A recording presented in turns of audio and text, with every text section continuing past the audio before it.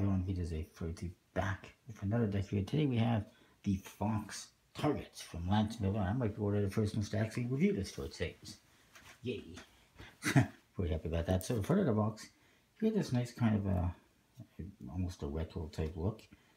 And you get this nice colored band, a ribbon that goes uh, basically right around the whole thing. It says playing cards, finest quality is an F, established 2014 and then Fox targets down here. Hey, I like that. How come uh, Zach Mueller can't do something like this? Change it up a little bit. um, on one side it says slipstream finish with a little fox. Go foxy. And the other side, who let the fox out? No. uh, no, what I'm thinking is, uh, what sound does a fox make? That's it. Murphy's Magic from Playing Card Company on the other side with a fox. Uh, top is the Murphy's Magic logo. The bottom is a barcode. Made in Taiwan. And it says 2016 Murphy's Magic Playing Card Company. By Murphy's Magic. With the logo, the back you see some nice artwork. You get some mountain peaks and the sun in the background. Symbols in all the corners. Here we got like a fire symbol some arrows, some hatsets, uh, a tent I guess it is, kind of outdoorsy. There's some foxes down here, looks like they're hibernating. And uh, yeah, very interesting. You see that F again. No seal, but you get the ribbon that almost looks like a seal. And foxes on the flaps, as well as a little symbol. And the top case is very uh, matte finish, I guess, kind of cardboardy a little bit different than usual. No embossing or anything. I should mention that Jason Brumbalow also was involved in the stack. Lance Miller was the artist, and it's quite different than what you used to from Lance Miller. You have a couple of jokers that say Joker in the corners, Fox Targets, and Murphy's Magic Playing Card Company, and a, there's a fox on there. The other one, same thing. The back design, very interesting. It's a pale blue, almost a grayish color with the F on there.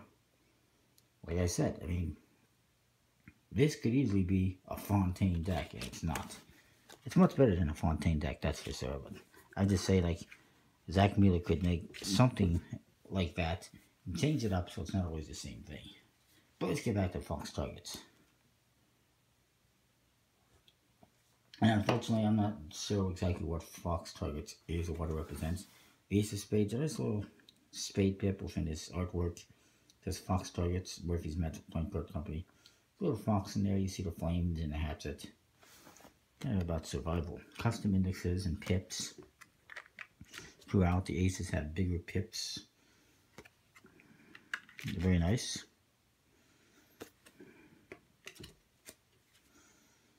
When you get to the court cards, um, spades and clubs is black and white basically. Lots of detail in there. Not a lot of color, but lots of detail all sorts of stuff going on in there. Very nice. Hearts and Diamonds actually have reddish colors, as you can see. Almost a purple pink type color, really.